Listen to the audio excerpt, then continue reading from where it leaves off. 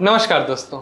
निर्मला सीतारमण जी ने 2024 का budget present किया है। इस पर रियल स्टेट और पर्सनल फिनेंस पर बात करने के लिए काफ़ी कुछ है। रियल स्टेट पर इसका इम्पैक्ट कैसा रहेगा? आपकी जेब पर ये कितना और सहूलियत देगा एक्सपेंस करने के लिए, रियल स्टेट परचेज करने के लिए? इस पर डिटेल में डिस्कशन करेंगे। जैसा कि आप जानते हैं कि मैं रियल स्टेट के ऐसे ही एजुकेटिव वीडियोस और प्रोजेक्ट्स के अनबायस रिव्यूज़ लाता रहता हूँ तो ऐसे वीडियोस को मिस ना करने के लिए अगर अभी तक आपने मेरा चैनल सब्सक्राइब नहीं किया है तो प्लीज़ इसे सब्सक्राइब कीजिए लीड मेंबरशिप एक्सप्लोर कीजिए। वीडियो को शुरू करते हैं। मैंने ट्विटर के माध्यम से आठ नौ पॉइंट्स ऐसे बताए थे जो कि हाईलाइट रहे हैं इनके स्पीच के। अगर आप मुझे ट्विटर पर फॉलो नहीं करते हैं तो प्लीज़ फॉलो कीजिए। उन पॉइंट्स को मैं रीआइटरेट कर देता हूँ। फिर रियल इस्टेट पर पॉजिटिव इम्पैक्ट क्या है?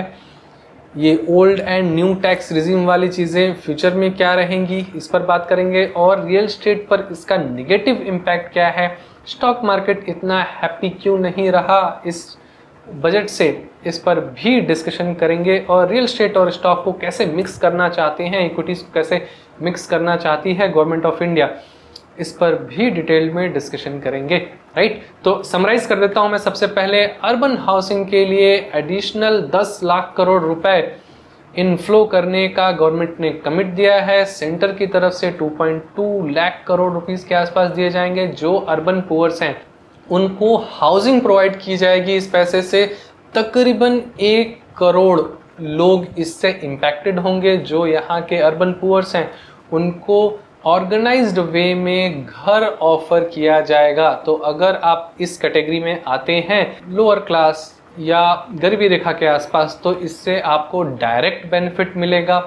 सेकेंड चीज़ गवर्नमेंट ने पॉलिसीज़ बनाने के लिए कहा है to regulate rental market of housing right housing rental market तो इस पर क्या इम्पैक्ट पड़ेगा? हाउसिंग मार्केट को रेगुलेट करने की बात कहे हैं, जो रेंटल्स हैं इंडिया में ऑलरेडी कॉम्प्रोमाइज्ड हैं। दो परसेंट, तीन परसेंट के आसपास की हम रेंटल यील्ड सुनते हैं अच्छे केस में। चार परसेंट के आसपास की रेंटल यील्ड सुनते हैं। अगर कोई ऐसी पॉलिसी बनाई जा रही है तो इससे रेंटल्स ज़रूर शूट अप होंगे। तो अगर आप रियल स्टेट नहीं रखते हैं स्टिल रेंटेड हैं और एस कर रहे हैं तो it's a high time to buy real estate have your own छत राइट यही सरकार भी चाहती है। नेक्स्ट स्टेट्स को इनक्रेज किया जाएगा कि वो स्टैम्प ड्यूटी को कम करें स्पेशली वुमेंस के लिए। तो हो सकता है सेंट्रल गवर्नमेंट कुछ इंसेंटिव्स प्रोवाइड करे स्टेट गवर्नमेंट को जो भी कम करने की इच्छा रखना चाहते हैं। अब स्टेट्स गवर्नमेंट पर है क्योंकि land is a states matter right अब वो कितना कम करते हैं, नहीं करते हैं it varies from state to state right ये आगे आने वाला टाइम बताएगा। जो लॉन्ग टर्म कैपिटल गेन है, उसको उन्होंने 10 परसेंट से 12.5 परसेंट कर दिया राइट 10 परसेंट टू 12.5 परसेंट का हाइक किया है और शॉर्ट टर्म कैपिटल गेन को 15 परसेंट से 20 परसेंट पर कर दिया है। तो जो भी इक्विटी के इन्वेस्टर्स हैं राइट वो कहीं ना कहीं उनको डायरेक्ट हिट लगा है। यहाँ पर रियल स्टेट को भी इम्पैक्ट किया है इन्होंने, क्योंकि जो इंडेक्सेशन बेनिफिट के साथ 20 परसेंट का long term capital gain tax लगता था, वो अब फ्लैट 12.5 परसेंट के रेट पर लगेगा। इससे रियल इस्टेट को भी बहुत बड़ा हिट मिला है, जो second third fourth house own करते थे इन्वेस्टमेंट के लिए ओन करते थे।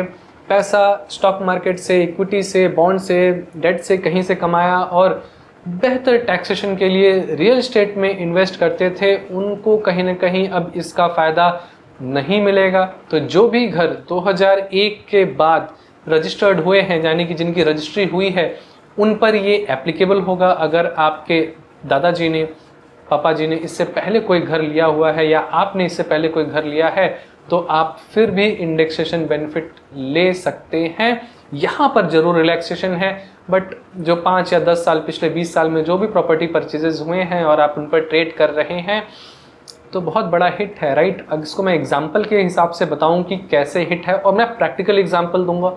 कई लोग एक्सेल शीट से इसको समझाने की कोशिश करेंगे, आगे आने वाले टाइम में यूट्यूब पर आप देखेंगे कि प्रॉपर्टी में अभी भी आपको कम ही टैक्स देना पड़ेगा due to this 12.5 percent of lower tax for on on property gains right but ऐसा नहीं है। रीज़न क्या है?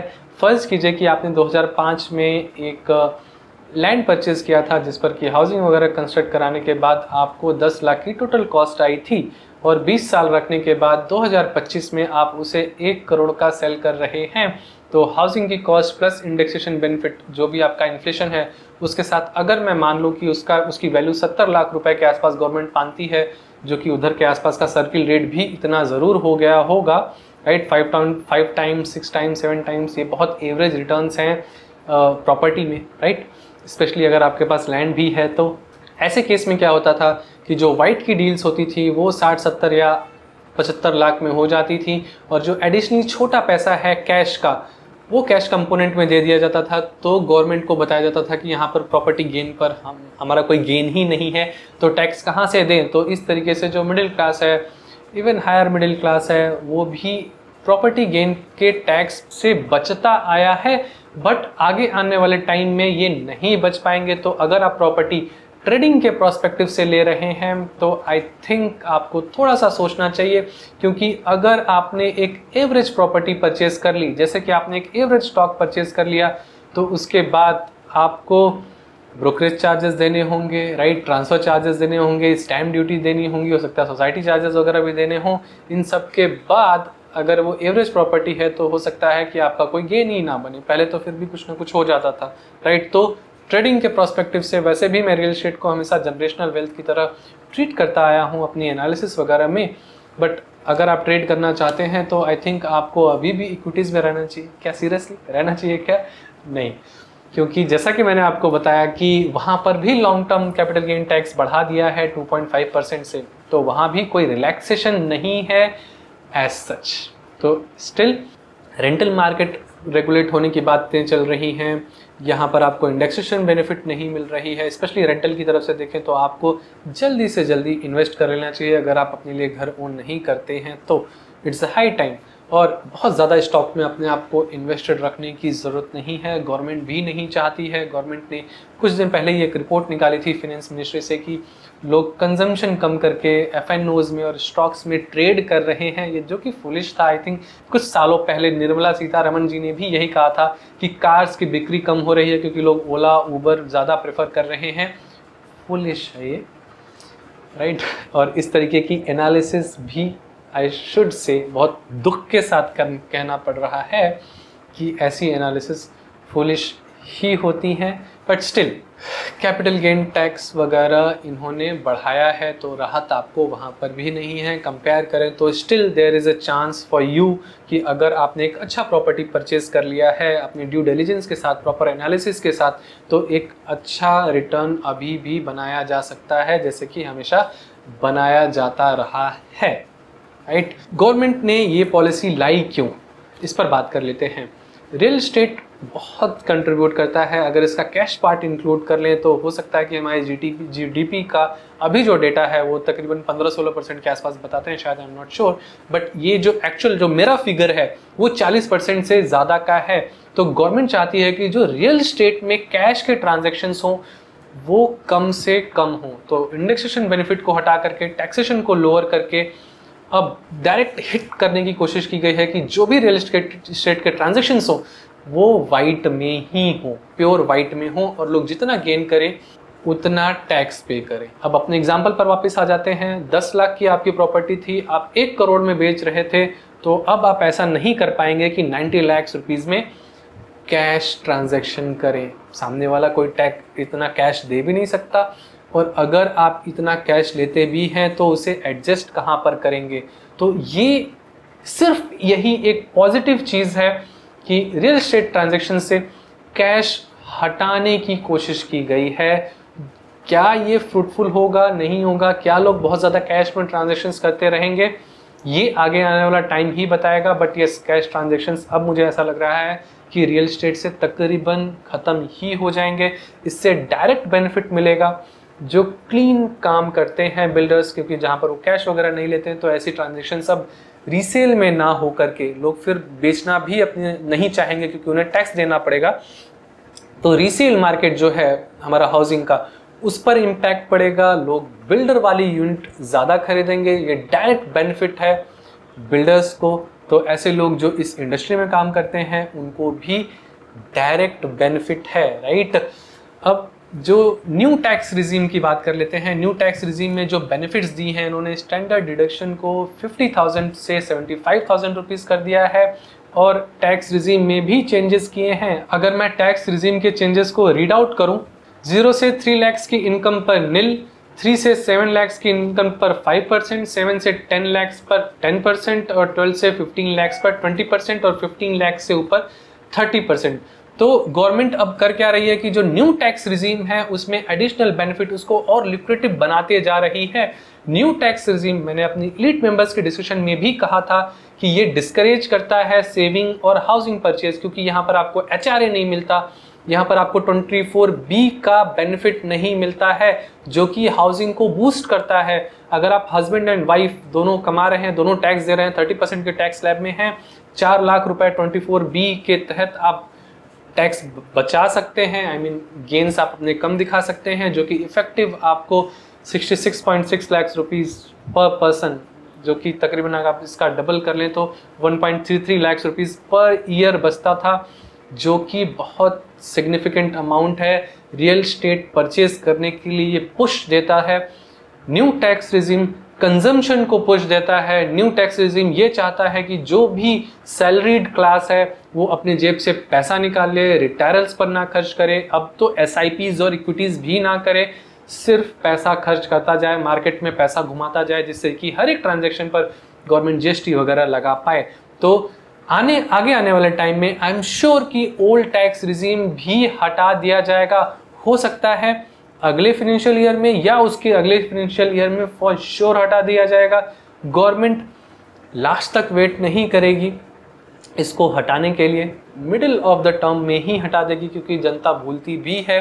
ओल्ड टैक्स रिजीम आपको रियल स्टेट परचेज के लिए इन्वेस्टमेंट के लिए सिक्योरिटीज़ के लिए, आपके रिटायरल्स के कॉर्पस बिल्ड करने के लिए बहुत सहायक था। अब नहीं चाहती गवर्नमेंट 24 बी आपके पास इस फाइनेंशियल ईयर का मौका है, या हद मार लीजिए तो अगला और फाइनेंशियल ईयर है।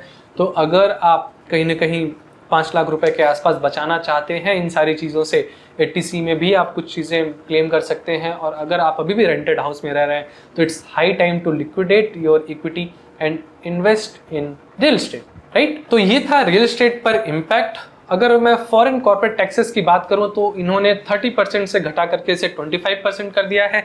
पिछली साल इन्होंने जो डोमेस्टिक कॉर्पोरेट हाउसेस थे, उनके लिए कम किया था। ये एक्सपेक्ट करते हुए कि यहाँ पर और ज़्यादा वो एक्सपेंड करेंगे इन्वेस्टमेंट करेंगे एम्प्लॉयमेंट जनरेट होगा। बट ऐसा कुछ नहीं हुआ था। कंपनीज़ ने अपना प्रॉफिट बुक किया और साइड निकल गए। कुछ ऐसा डेवलपमेंट दिखा नहीं। बट यहाँ पर अब ये जो कम किया है, हो सकता है कि एफडीआई जो फॉरेन डायरेक्ट इन्वेस्टमेंट्स हैं, उनको बूस्ट मिले, जो बाहर की कंपनीज़ हैं और भी ज़्यादा यहाँ पर ऑफ़िस खोलने की कोशिश करें, क्योंकि ये कहीं ना कहीं इनक्रेज ज़रूर करता है। जो स्टार्टअप इकोसिस्टम है एंजल इन्वेस्टर्स पर जो गेन थे, उस पर टैक्स को डिमोलिश कर दिया है इन्होंने अबॉलिश कर दिया है इन्होंने।